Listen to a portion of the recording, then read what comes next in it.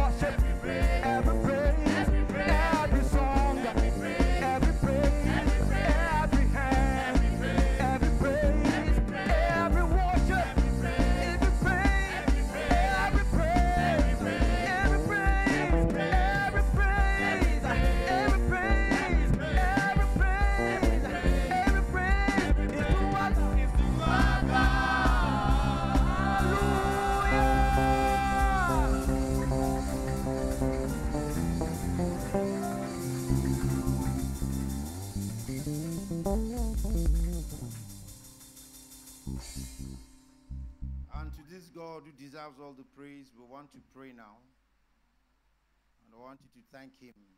It's the end of another month. Thank God. You want to sit, you want to kneel, that's fine, but thank God. Thank God for His faithfulness that never failed one day. Thank Him for journey mercies out of town, within town, that you enjoyed His love, His faithfulness leading you. Thank Him this morning.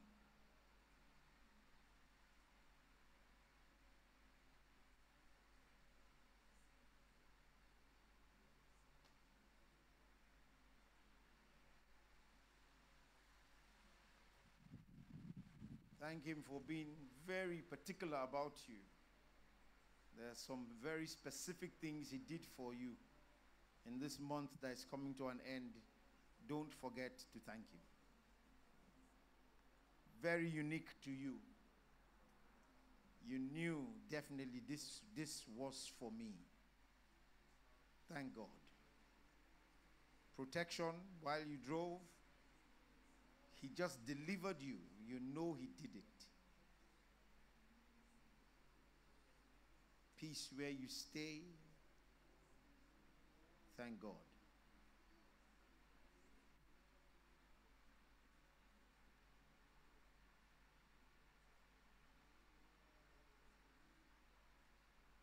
Before we pray for one state, I want you to pray for your state.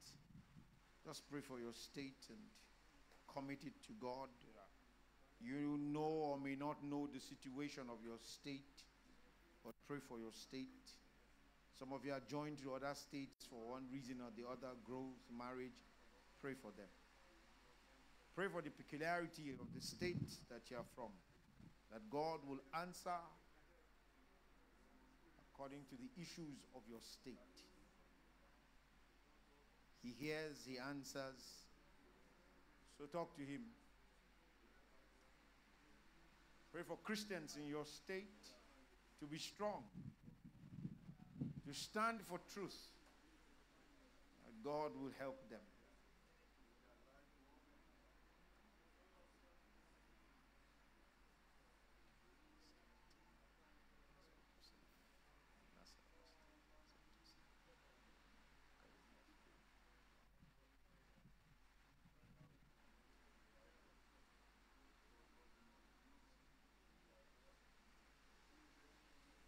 As a congregation of God's people, let's pray for Plateau State. May we all talk to God for Plateau State, for peace to return. Rumors of retaliation are everywhere, and you really are not surprised. Pray for Plateau State. Pray for the leadership, especially the Christian leadership, for wisdom on how to direct God's people, and on what to do and how to do it. Pray for the governor, the House of Assembly.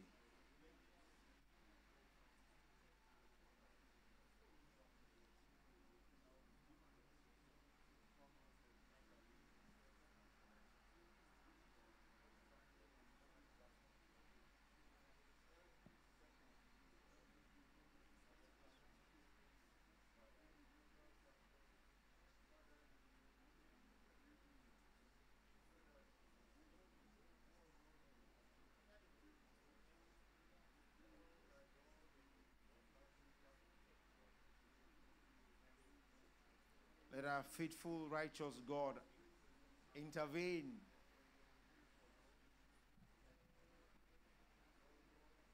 Thank Him for the release of these children in Niger State and some from Bethel Baptist School.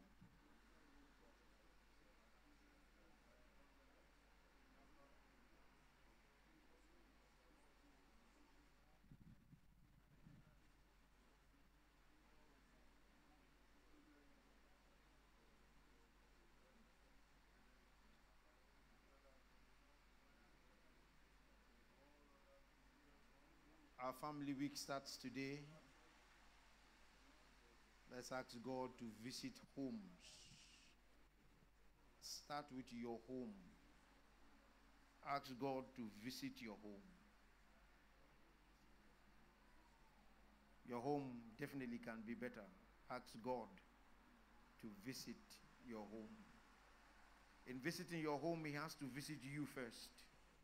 So ask Him to touch your heart that you might be open and ready to submit to Him where you need to submit to Him. That we will not go through these three days till Tuesday and you don't have something to make your home a better place.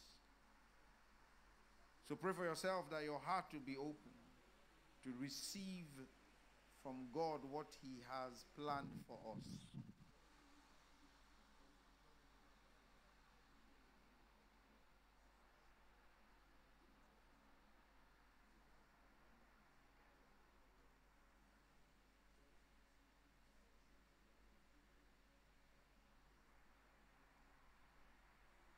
Lastly, as a church, let's pray for all the cases ECWA has. Let's ask for God to intervene, that all of them will be settled.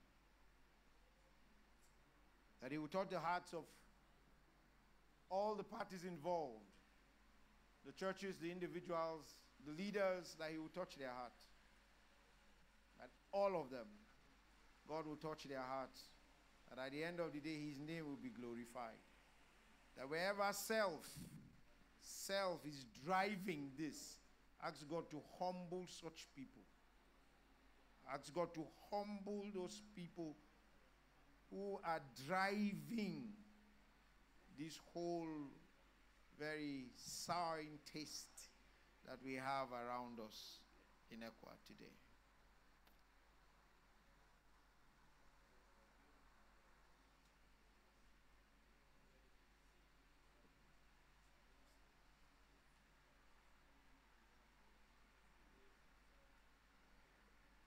In Jesus' mighty name we pray.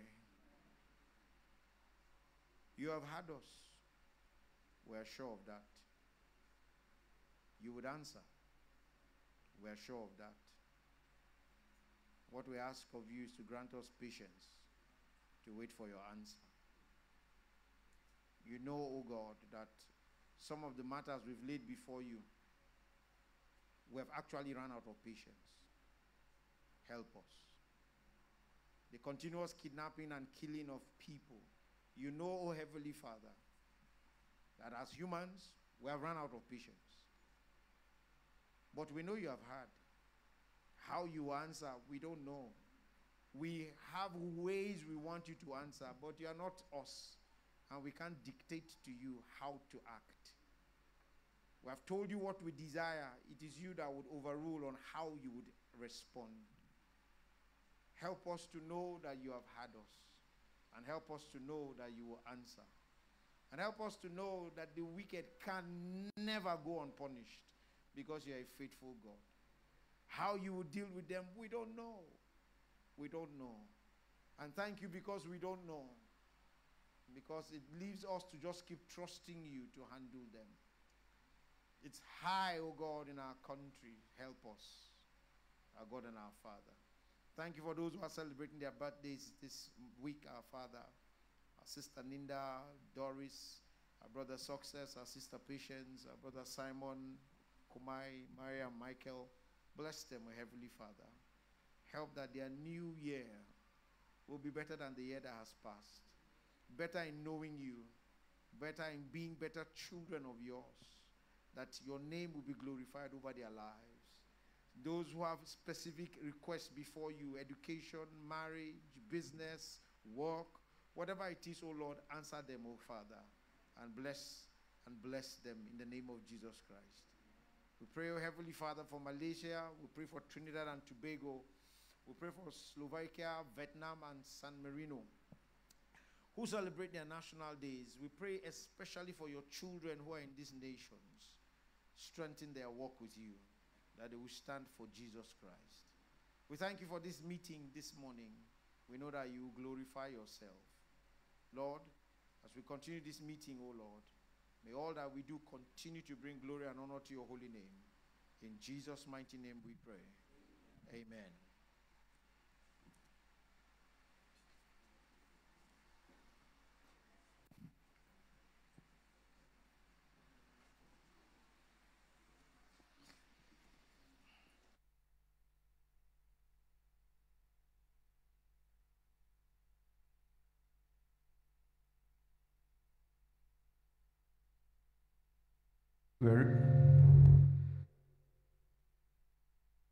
Jeremiah chapter 14, from verse 1 to 10. This is the word of the Lord that came to Jeremiah concerning the drought. Judah mourns. They, fa- they wail for the land, and the cry goes up from Jerusalem. The nobles send their servants for waters. They go to the they go to the cisterns, but find no water. They return with their jars unfilled, dismayed and despairing. They cover their heads. The ground is cracked because there is no rain in the land. Farmers are dismayed and cover their heads. Even the door in the field, in the field deserts, deserts, deserts, newborn found because there is no grass. Wild donkeys stands on the barren heights and, and pants like jackals. Their eyes fail for lack of food. Although our sins testify against us, do something, Lord, do something, Lord, for the sake of the, your name. For we, for we have often rebelled. We have sinned against you. You, you who, who are the hope of Israel, savior, its savior in times of distress. Why are you like a stranger in the land, like a traveler who stays only a night? Why are you like a man taken by surprise, like a warrior powerless to save? You are among us, Lord, and we bear your name. Do not forsake us. This is what the Lord says about his people. They, they, they greatly love to wander. They do, they do not restrain their feet. So the Lord does not accept them.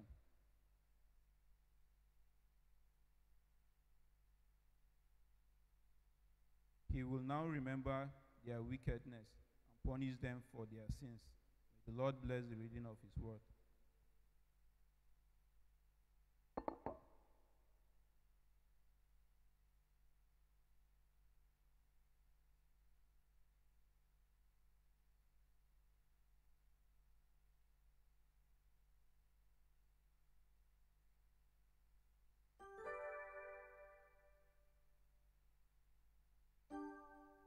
Good morning, church. Will you please rise as we take the congregational hymn? Hymn is on the bulletin, the front and the back page of your bulletin.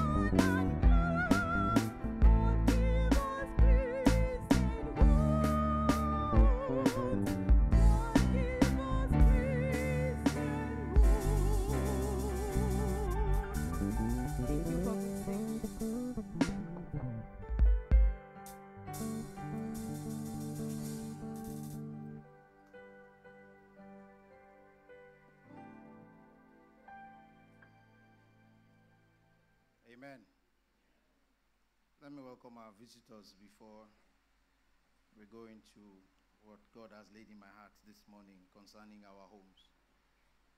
Welcome to church again this morning, and good to have all of us here. Thank you for coming. I want to recognize those who are worshiping with us for the very first time. Uh, if you don't mind, uh, some people may mind, but if you don't mind, please just raise your hand wherever you are. If this is the first time you are worshiping here, if you are in the hall or outside, please just raise your hand wherever you are. Ushers will give you a card.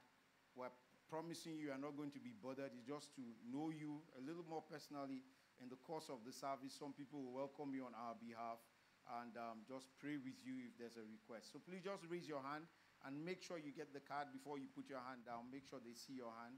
There are two hands in front here, so please just give them. I hope those outside. Okay. Some people are still trying to make up their minds. Just keep your hand up a bit. They'll give you a card, all right? There's one person in front here.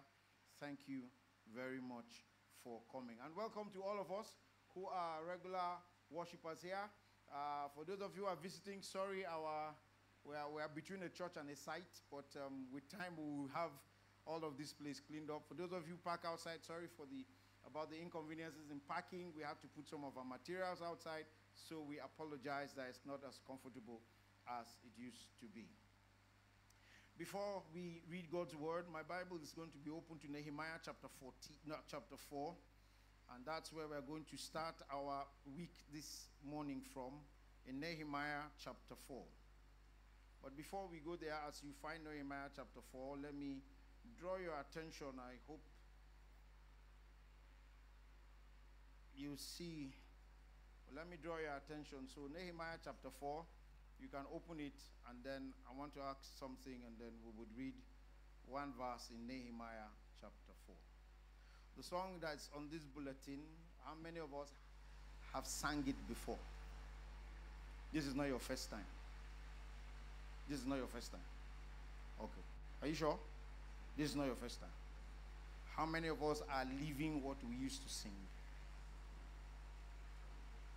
I didn't sing because I just knew that something's wrong. With me, not with you. We sing the songs that we sing with joy and passion. And it's like when we sing, we just sing for singing's sake. And then we go out and then we forget.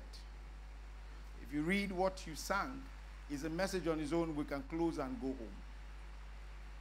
How is your home? How is your home? Homes where the Father is true and strong. Homes that are free from blight. Homes where the mother, in caring quest, strives to show others your way. not my way, not our way, but that your way is best. Home where the Lord is an honored guest. Technology and innovation and have changed the way we decorate our homes. I've told you this over and over again. We used to have cotton boxes in our homes in those days. You remember those cotton boxes? And on top of those cotton boxes, we used to have pictures of grandpa and mommy and daddy. And in the most Christian homes, there used to be this write up Christ is the head of this house, the unseen guest, the silent listener to every conversation. Can he visit your home? Is there peace in your home?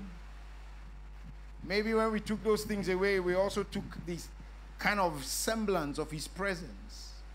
And so today we put pictures. And like I've told you, some of the pictures, we don't even know why we put them. Because we don't know what they, what they mean. We just put them. It's, it's art. It's just, it's just painting. we don't know what they mean. I, I'm not, I don't connote anything is wrong with it, but maybe some of those things on our walls was a reminder to some of us. Because I assure you, I'm not sure in this church and maybe in other homes that the, what we sang today is true in our lives. Some of us are young people, yes. It's how you prepare now that will determine how it will be tomorrow. So the things we sang, if we are going to be judged only on the things we sang, how is your home? How is your home, dear father? Proud father, excited father. How is your home? How do your children see you? Do, they re- do you reflect the way of Christ to them? How's your home, dear mother? Oh, yeah, food is always available. The house is always clean. Nice. But not, not just that it's always clean, it has a very lovely, welcoming smell. But the heart in the house, are we at home? Or we're just existing, we're just cohabiting. So, how is your home? In Nehemiah chapter 4, the verse is verse 14 this morning. Nehemiah chapter 4 and verse 14. And at the point I will ask, I hope the media will be able to put it up for us. But Nehemiah chapter 4 and verse 14.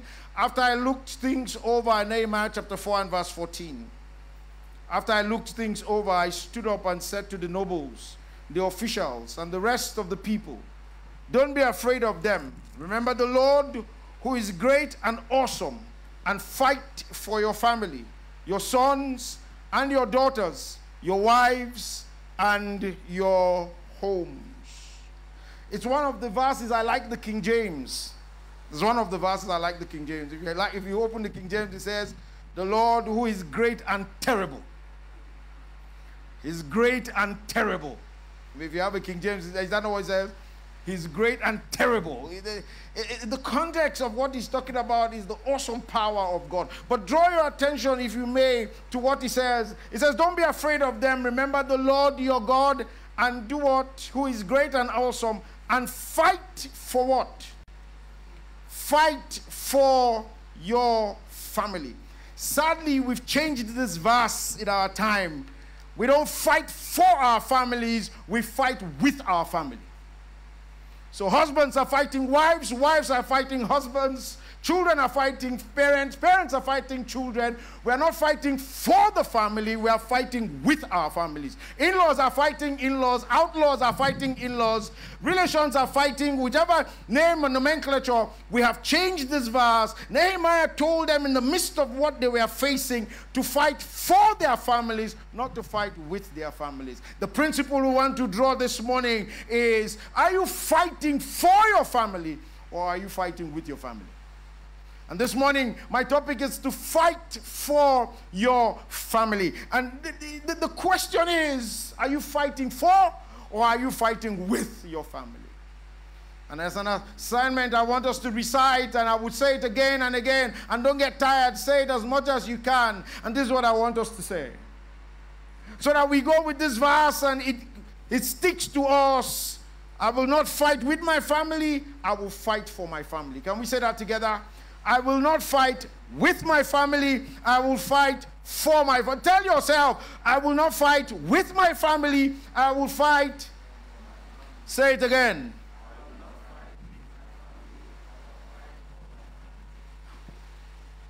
Looking at your faces, I'm sure some of us here, this is already enough sermon. We can go home right now. Because we are fighting with our families. Will there be conflict? Yes. But we will settle. But where there's a continuous fighting, something is wrong. Nehemiah tells the children of God, fight for your family. May we pray as we go to God's word this morning. Father, help us that what we have said will be real in our lives. Help us that we would fight for our families, not with our family. In Jesus' name. I will save you all the statistics. I will save you, but I will give you a hint of what's going on. There's a major attack on the family of the day, and there's a major, major attack that the traditional family of today is, is, is, is bad. There's an interview, I wanted to play it, but maybe in the course of the week I'll play it, that Piers Morgan did with one, I don't know what to place that guy. It's, it's, it's, it's a very funny interview. They, they, they, live in a family where they don't refer to their kids as he or she, but it, they. They don't, they, they don't, they say they, they say they don't discuss sexuality with their children. They have a very funny, interesting relationship. The guy, the guy, guy, guy, I don't know whether he's a guy or a girl, he's married to somebody, and then he has an another open relationship with somebody who is living in that same house. And in that whole system, they have children. It's a, it's a very nauseating if you cannot stand it, please don't go and look for it. But Piers Morgan was the one that did it. I think it's on ITV. He did that interview. It's on YouTube. I'll try and get it for you. That's one attack on the family. There's the other attack on the family that is even within the church and the, the, the, things that we do that don't help the family. There's an attack on the family that the traditional family has always been male dominated. and has suppressed and pressed women so that women cannot express themselves. You don't blame them. We don't blame them. Because we have not read and obeyed, especially as men, where it says, Submit ye to one another. We are quick to say, Women, do what? Submit to your husbands, and fail to realize that it says, Husbands, love your wives. How? As Christ loved the church and gave himself up for him. And so I always ask men, if your wife slaps you, will heaven fall down? If your wife slaps you, will heaven fall down? I'm sure if it was possible, God will fall with heaven. But they say, the Bible says, love your wives as Christ loved the church, so that the church that he was dying for slapped him and heaven didn't fall. Instead, he said, Father, forgive them, for they know not what they do. We as men have been more concerned with our ego and our personality and failed to realize that the example of humility that Christ gives us is a heavy task upon us, and yet we don't want to do that part. And we always say, where there's love, submission is easy, but it's been difficult for us. Nehemiah is writing in this place and he tells us this very, very difficult word, if you ask me. The children of Israel were in captivity. About 70 years they were in captivity. They were returning now to their land. Nehemiah was leading the third group of people. And as he was leading the third group of people, Nehemiah's concern, as at this time, was how to rebuild the broken walls of Jerusalem because it was a picture of their security. But then Nehemiah led these people, and Jerusalem was in ruins.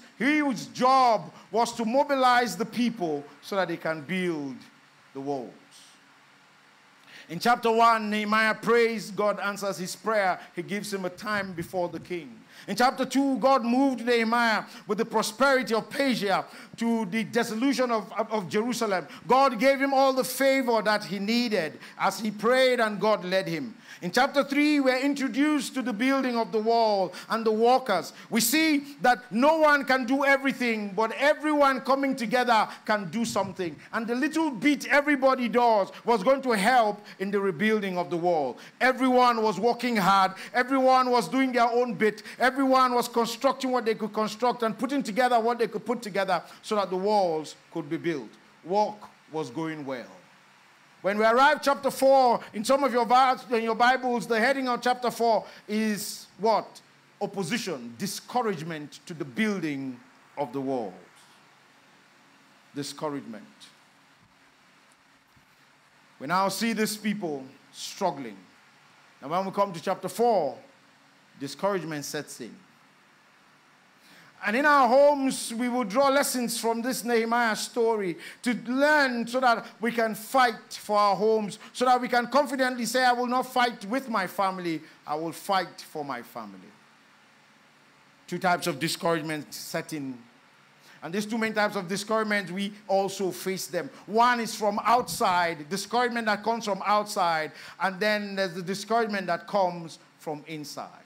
The, the outside discouragement, the walls, the workers were initially excited. They were enjoying the walk. Chapter 4 and verse 6 says that the people walked with all their heart. They were excited. Why? They were building the walls.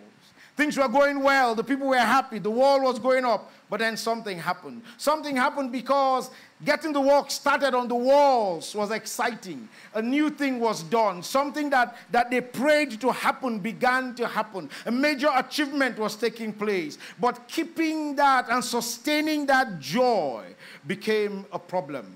Because you see, when God begins to move and God begins to walk, Satan is also around to see how he can introduce discouragement and bring things in the wrong direction. And so our homes are. We started out very happily. Very few homes, in fact, there are very few homes that didn't start with joy. Plenty of dancing, plenty of celebration, plenty of spending, plenty of eating. There was excitement. But how has it been now? Everybody's calm Discouragement has set in. Just like these guys, discouragement has set in. The excitement is gone, and everything appears that it's not going well anymore because Satan brought in two people that brought in discouragement. These human enemies, chapter 4, verse 1 and verse 2 tell us these human enemies, their names. One says, the Bible says, when Sanballat heard that we were rebuilding the wall, he became angry and was greatly incensed. He ridiculed the Jews. And then they got so angry that they surrounded the walls, surrounded the workers. Note also, my brothers and my sisters, that when God was leading them, God allowed Tobias and Sanballat to be alive.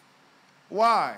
Hardly do you read through scripture of anybody that God leads that doesn't meet challenges on the journey of his faith.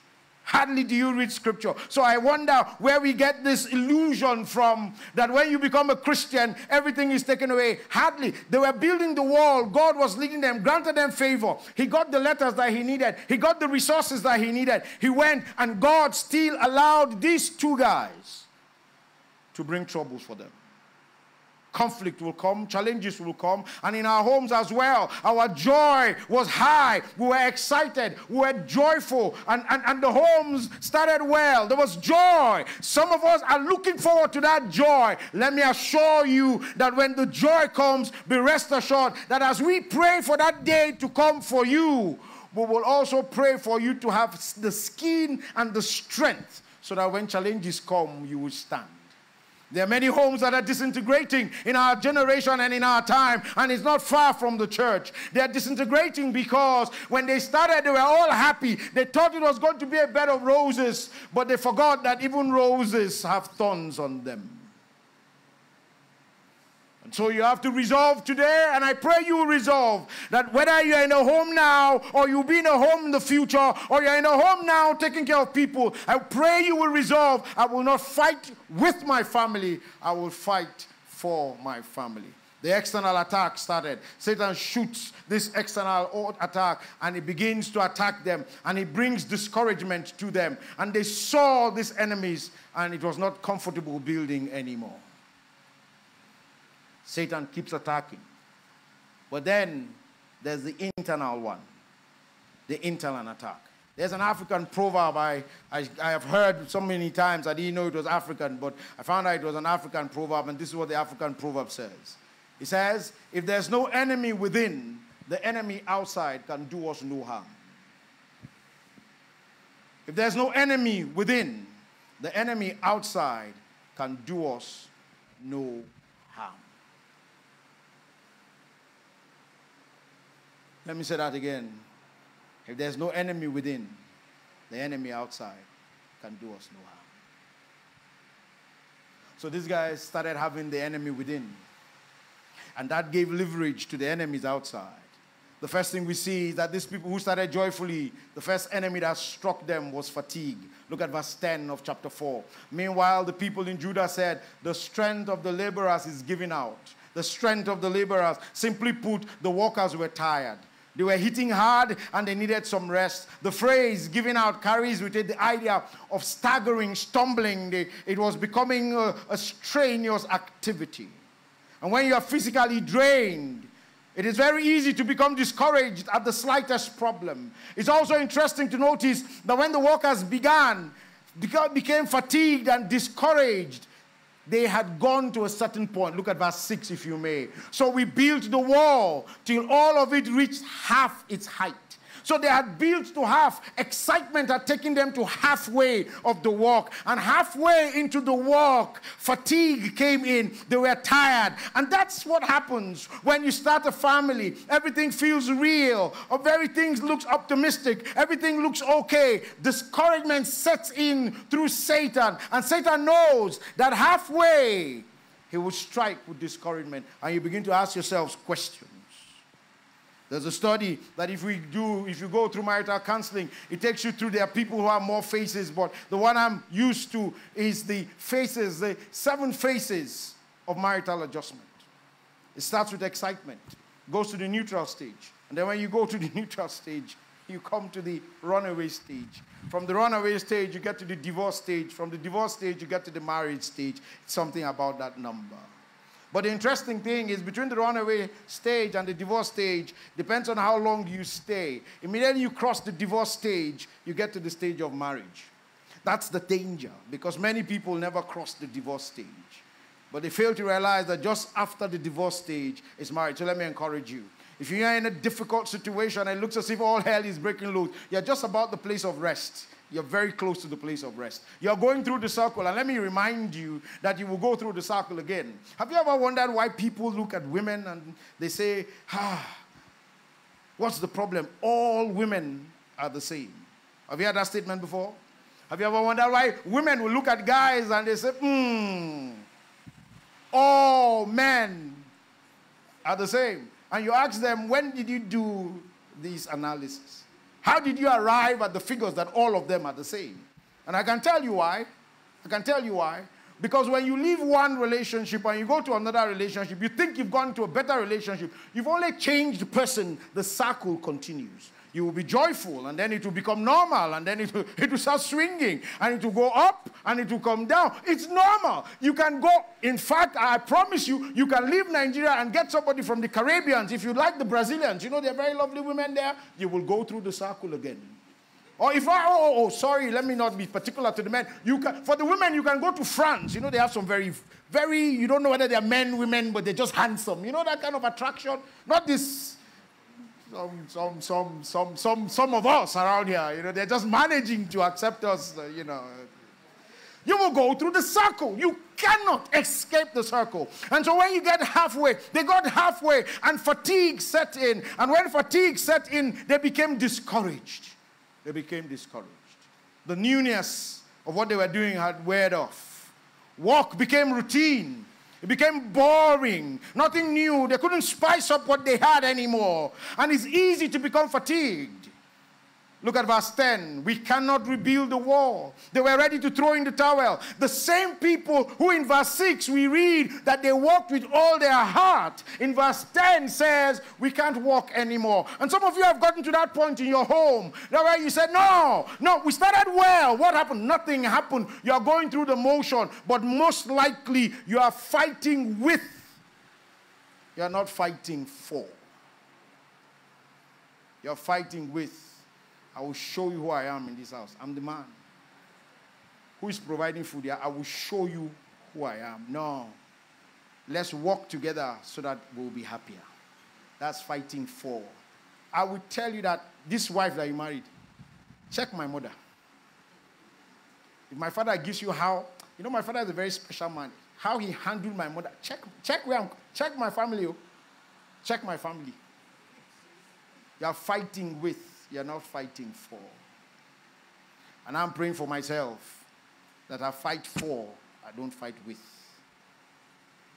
And I pray that as you get ready for your own home, for those of you who are still praying to get married, that you make it clear that every step of the way you will fight for, you'll not fight with. They were tired. The people who started with joy, and many who were here, they started with joy, but they've plateaued, no joy. Oh, this evening we're going to talk to only couples. Spice the joy up. Find a way. Oh, no! Oh, forget. There's nothing new. After 20 years of marriage, what else do you want to show me? There's still something, there's still something you can do to keep yourself going. But if you are fighting with, you will never find something new. You will only find a new reason to fight. And I assure you, if you think you're not fighting with, you're fighting for, check. If every time something comes up, there's a new reason to fight, you're fighting with, you're not fighting for. Some of us are fatigued, we are discouraged. I pray that as you resolve to fight for and not fight with, it will encourage and strengthen your home in Jesus' name fatigue setting. And when fatigue setting, they were frustrated. Any voice of discouragement from outside we say, after all, it's true. Because the enemy within, the enemy within opens the door for the enemy outside. If there's no enemy inside, the enemy outside can do us no harm. The next thing we see that happened to these people is frustration, which is normal. Look at verse 10, if you may. There is no, there's so much rubble that we cannot rebuild the wall. There's so much rubble. They say that we cannot rebuild the wall. So much rubble? Really? So much rubble. So much rubble that we cannot rebuild the wall. Rubble was everywhere. It hindered their work. Everywhere they went, broken rocks, dirt was there, dry mortar was there, sand was everywhere, debris was everywhere. Everywhere was filled with all kinds of dirt. And now, the people who are building, you want to understand, they didn't change location. The same spot they started building, all of a sudden, they noticed that there was rubble in the place where they were building. And rubble is dirt and all, all the things that we, we, we see around and as, we, as, as, as, as you go to a site. Those rubbles now started disturbing their work. And so they were discouraged, they were frustrated. There's probably some level of dysfunction in your home. Rubble everywhere. Rubbles everywhere. Maybe you're with an abusive spouse. Maybe you're someone with bitterness issues in your home or a defensive spouse. I, I found out that there are some spouses that are defensive. Everything, they defend themselves. They, they don't give in, they defend themselves. It's their way or the highway. It feels all too overwhelming. Frustration is setting in. You've tried and it looks as if everything is over. You cannot take it anymore. You've moved now from fatigue. Frustration has set in. Just like this guy's frustration has set in. And in the midst of this frustration, they got angry. The adversary started attacking them. It became easier for them to be attacked by the adversary because the enemy within was working hard. From frustration, these guys went to fear. They were afraid. Look at verse 12. Then the Jews who lived near them came and told us how many times in verse 12? Ten times. That means they kept repeating it, repeating it, repeating it. What were they saying? Wherever you turn, they will attack us. Wherever you turn, they will attack us. So fear was now building. These are people who started walking with confidence. These are people who started walking knowing that they had the backing of God and they had the, the power of God behind them. But fear set in. And fear sets in and it spoiled everything. They couldn't walk anymore. I don't think, I don't know, but maybe if we look at all the emotions, I don't think there's anyone as dangerous as fear. Because fear can make you underachieve what you're supposed to achieve. Till this minute, fear, a very simple one that makes you sometimes, if you don't think about it, you, you, you don't know how fun it is. Have you ever wondered why you be in a room in your house, a room you are used to, you stay all the time, and it's dark in the night and there's light, you're enjoying the room. It's your room, it's your house, and then the light goes off. Why are you afraid? Why are you afraid? huh? Immediately the light goes off.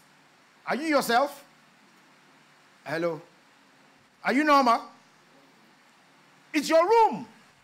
You can almost walk without light. When you wake up to go ease yourself, you don't need the light. But when you're conscious of the light and the light goes off, fear sets in. And in the midst of that fear, that's why you have more accidents. fear. They were afraid. And because they were afraid, it gave the enemy an opportunity to come in. And some of us are afraid. This is what is going to happen. This is where this thing is going to end. You're already picturing an end that the scripture does not support. Fear has set in. I assure you, you've opened the door for voices that will come in to help you get to that end. Because you're already afraid. Oh, look at what he's doing. Oh, look at what she's doing. No, no, no, no. There's no way. Whatever is happening, this place, I'm going to fight for. I'm not going to fight with. Whatever it is, I'm going to stand. I know it's not easy. I know it's difficult. But I'm going to stand because I stand with a God who has not failed me before.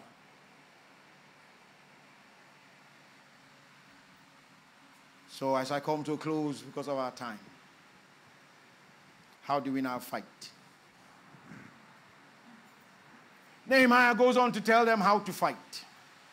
To keep their family normal, he tells them how to fight. The first thing he tells them is to seek God's help. Seek God's help. Unfortunately, God usually is the last person we look for when trouble starts. But God was the first person Nehemiah looked for when things got bad. You know, I was preparing. You know, some of us remember the story of this luxurious boss that was attacked by armed robbers. And when they told everybody to drop, the armed robbers who were well armed said, Men this way, women this way. And among the women, they saw a man and asked the man, Are you okay? Men this way, women this way. Why are you here? The guy said, You guys that are armed are the men. All of us here are women. Why? Because what he saw overwhelmed him. And there are some of you sitting down here today. The challenges of your home has overwhelmed you. Have you talked to God? This overwhelmed Israel. They didn't have the capacity to fight these people. They didn't have the power to fight these people. They were, they were sad. And this is what Nehemiah did. And when we get overwhelmed, Nehemiah in chapter 1, we know that prayer. He prayed and prayed. We know that prayer. But the prayer that cuts, that cuts my attention is this Nehemiah chapter 2, verse 4 and verse 5. Nehemiah chapter 2, verse 4 and verse 5. We know Nehemiah chapter 1, the prayer that he prayed, but the prayer that, that, that, that, that, that my attention is on is Nehemiah chapter 2, verse 4 and verse 5. Are you there? Hello? Are you there? Okay. the king said to me, What is it you want? Then I prayed to the God of Israel and did what? Verse 5. And I answered the king. When did he pray?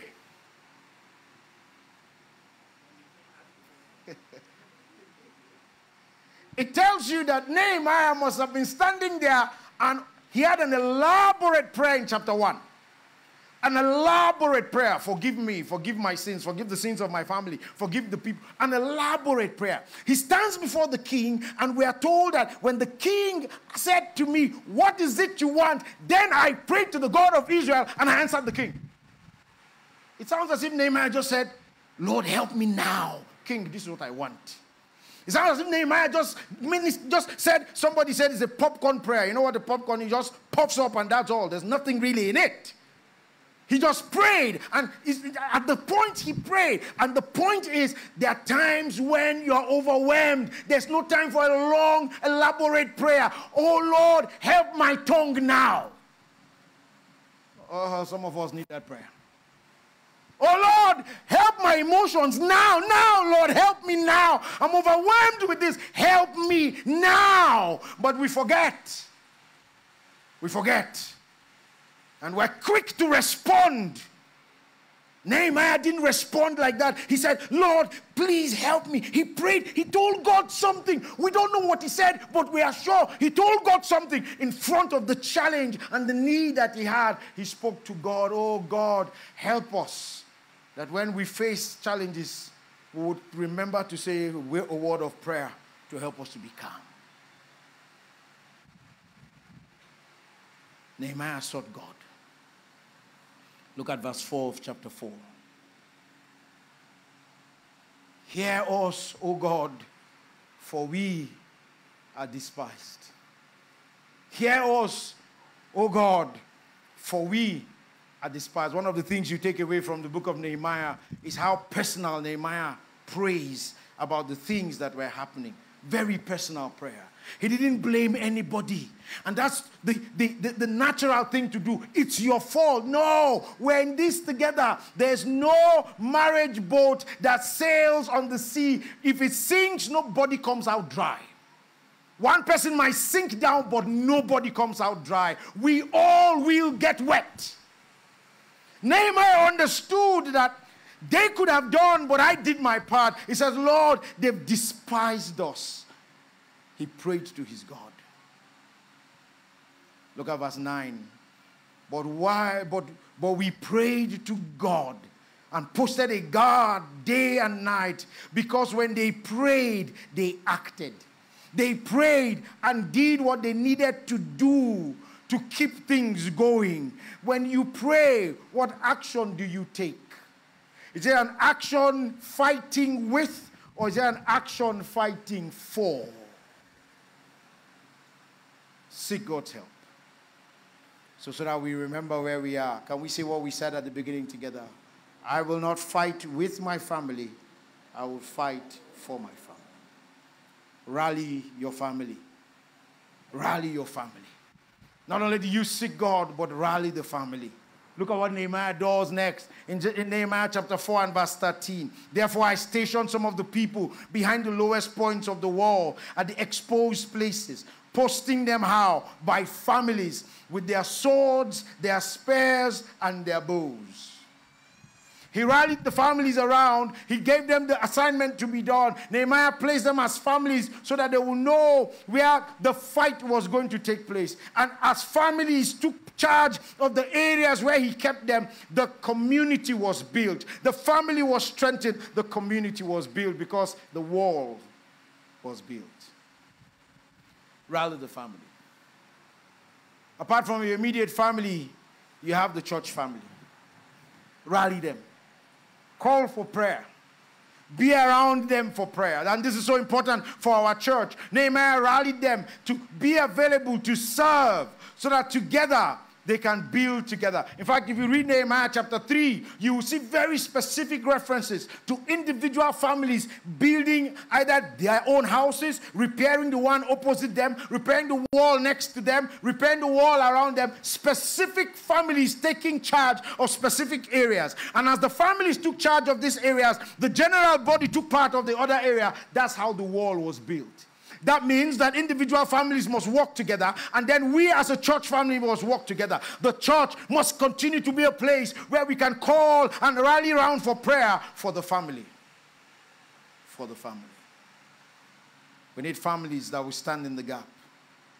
Imagine if you were there and functioning as a family of faith, stationed in a weak area of our world today to pray for a family, to pray for their children, to pray for the relationship of husband and wife, to pray that the man will not just be a man society says is a good man, but a man that the Bible approves that this is the character of Christ. To pray that the wife will be a wife that reflects the character of Christ. Not that she's a loving wife, she's, she's okay, but it's the character of Christ that would always take the day.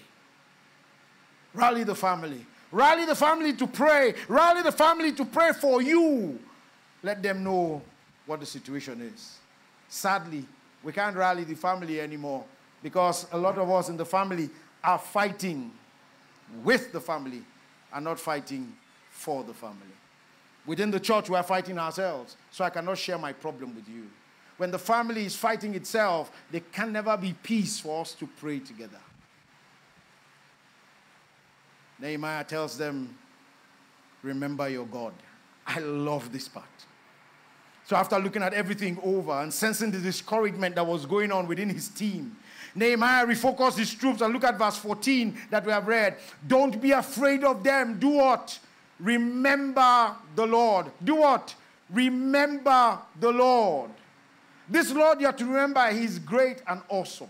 Nehemiah knew that even in the face of opposition, that the success that they were going to have will be, will be dependent on God. Remember the Lord who is awesome. Remember the Lord who is indeed great. Child of God, remember the Lord who is your strength. Child of God, remember the Lord who has told you that his banner over you is love. Child of God, remember the Lord who calls prodigal sons and parents back home. Remember the Lord who never loses a battle. Remember the Lord who is your good shepherd. Remember the Lord who has asked you to call him in the day of trouble. Remember the Lord who remains a great deliverer. Remember the Lord who has told you to come before his throne boldly, that you might find grace and find mercy in your time of need. Child of God, let discouragement not take your mind away from the Lord, but that you remember the Lord who has promised never to leave you nor forsake you. Let discouragement and fear not take your attention from the Lord God Almighty, who has promised that I will never leave you, I will never forsake you. Amen. Remember the Lord who hasn't forgotten you? Does your home seem unmanageable? You can't manage it anymore, unmanageable. You're about to throw in the towel. I give up. I can't take it no more. You are just halfway into the fence. So let me tell you something to help you know why I say you are halfway. So the studies that I told you about that gives you the seven stages of marital adjustment says for you to reach the stage of marriage, if you try and you are fast, if you try and you are fast, you would have spent about 13 years, then you can say I'm married. For now, you're still learning the ropes. That's your fast.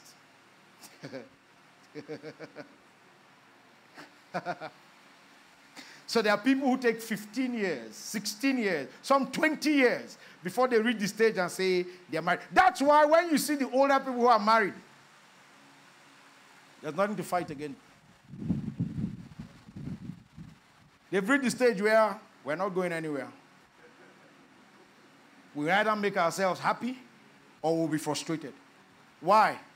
They all of a sudden forgot and then woke up, and some of us who are at that stage have not learned from them. They forgot that the children that used to keep them happy never ever say you are in your marriage because of your children. You have lost that battle.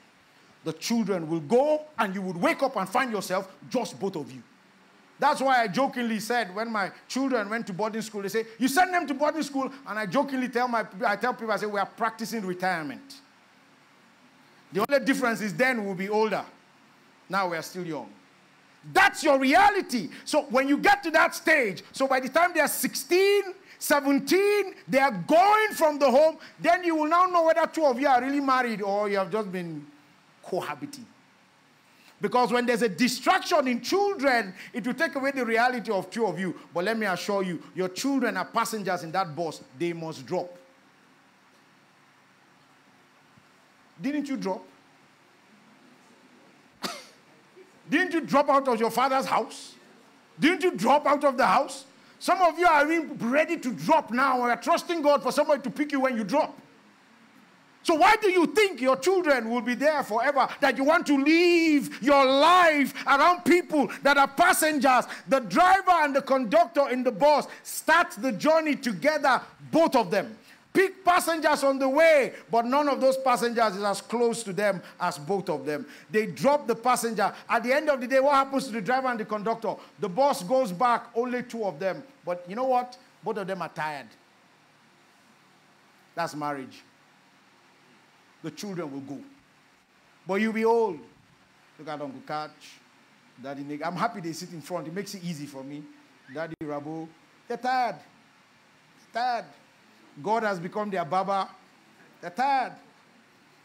The shoe they wear, except on Bukat, that by the grace of God, the guy is in his blood, so he still tries to maintain as a young boy. But look at Daddy Negedu. We're praying for him every day. Can wear anything, they don't care. They don't care anymore, Daddy Rabo. They don't care. It's still we that are trying to find which shoe matches, which socks matches, which shirt. These guys wake up in the morning. What do I have? All right, let's, where are we going? In fact, sometimes they don't even ask where they are going. You see them when they come out and you look at them. Are we going to the same place? They don't care. And you will get there. You will get there. Let the important thing be two of you. You will get there. Stay remembering your marriage. Stay connected. Stay connected is the last thing our time is gone. Stay connected. Apart from rallying your family, remembering your God, stay connected. Look at verse 20, if you may, of chapter 4. I like that verse. Whenever you hear the sound of the trumpet, join us there. Our God will fight for us. Can I plead that this be a trumpet call? Can I plead that this message is a trumpet call to you today? That when you hear this message, you will join us together. And I like how the sequence of the verse goes, especially in the NIV. It says, When we join together, our God will fight for us. Our God will fight for us. When we come together, our God will fight for us. When we come together, we can conquer more. When we come together, we are stronger together. If you go away from the herd of cattle, it's easier for you to be attacked. I hope you know if you watch National Geographic Wild, you will notice lions and hyenas and tigers, they don't attack animals that stay together. They wait. They just walk around to see one that will leave the fold. Because when you leave the fold, you don't have your brothers and your sisters, as it were, to protect you. Just watch National Geographic. It's strategic. They row. In fact, some studies say that the lion rows when things get difficult. He rows. And when he rows, because the echo echoes around, the animals begin to run. In the bid to run, one person strays away because he's afraid, because he had a row, and strays into danger. I hope you also realize that however strong, some of you should watch, however strong a lion is, when a lion strays away and is alone, and a collection of hyenas get the lion, that lion is dead. Why? There's strength in togetherness.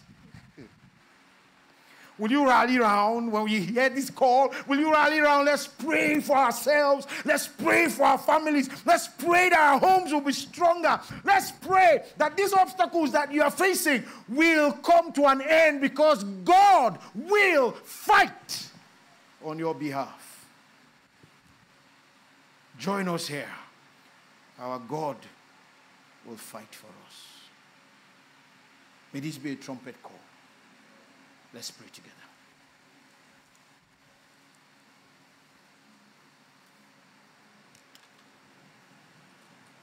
Would you please permit that we pray?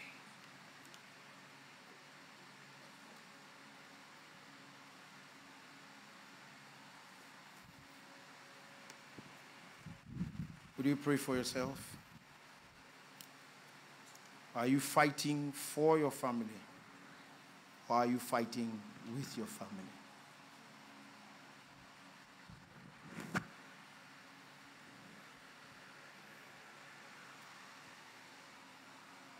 I don't know what stage you're in, and I don't know what struggle you're facing.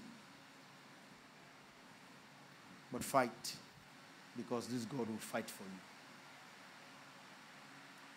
Fight, He will fight for you.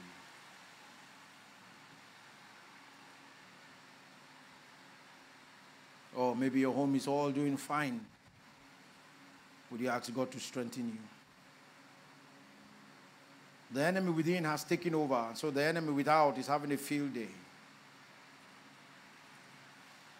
It might be difficult, but I'll ask you to pray for yourself. To pray that God would help your home. To pray that God will help your future home. To pray that God will help you as a mother taking care of children because we can't understand, but your loved one is no more and you're all alone. Sometimes it's hard. Pray that God will help you to know that He's with you. That you consistently remember your God. Would you just tell Him, I will fight with my, I will not fight with my family, I will fight for my family. Some of you have extended family members, uncles, aunties, cousins, nephews, nieces. You are fighting with them. I mean, fighting, literally fighting with them. You don't show the light of Jesus Christ.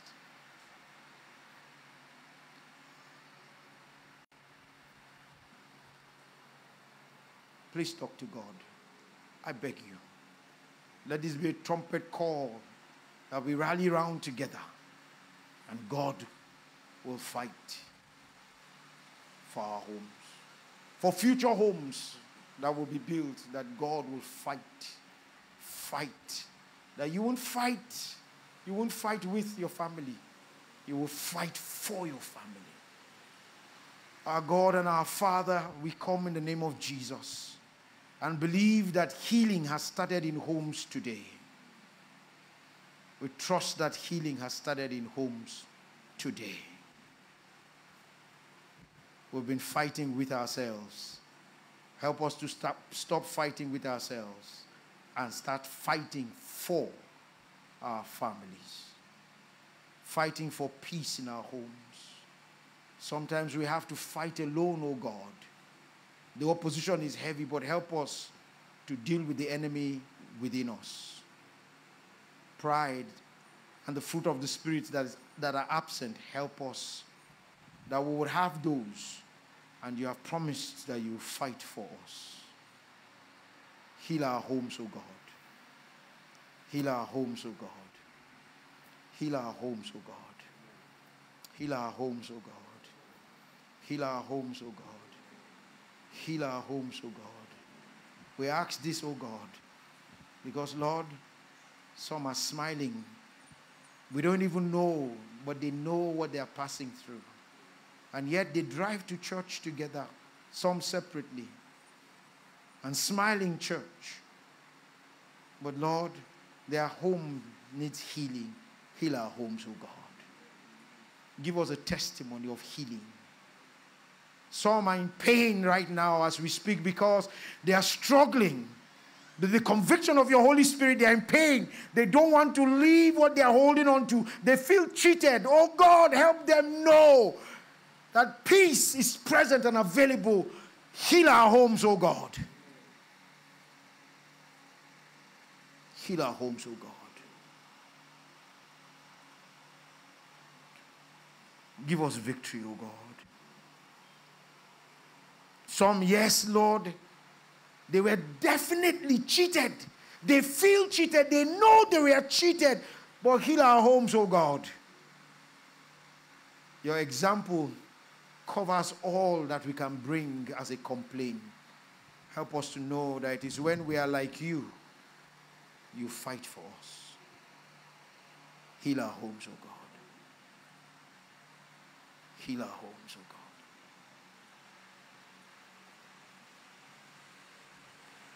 Heal our homes, oh God.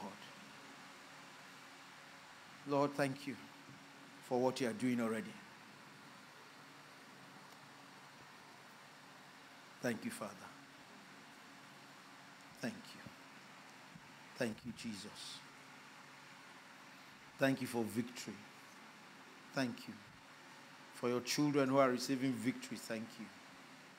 They are pained, but because they trust you, they are saying, I will try again. They are pained, but because they trust you, they are saying, I will try again. Oh Lord, heal our homes. In Jesus' name we pray. Amen.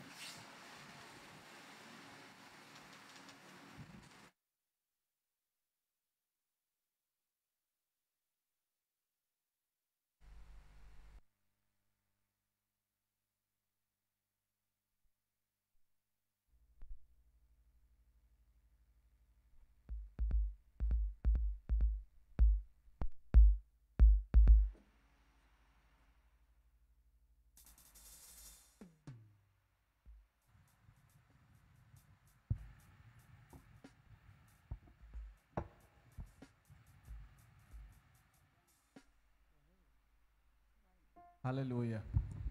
Hallelujah. By the grace of God today, the title of our song is All I Have to Give. As you listen, may you be blessed in Jesus' name.